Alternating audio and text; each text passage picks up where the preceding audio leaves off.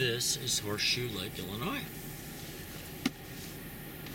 Oh, I see some big birds. Honey, I gotta my binoculars first.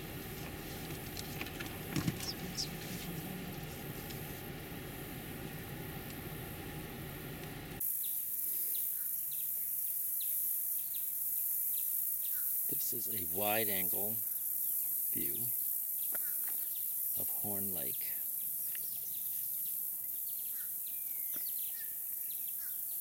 In Illinois.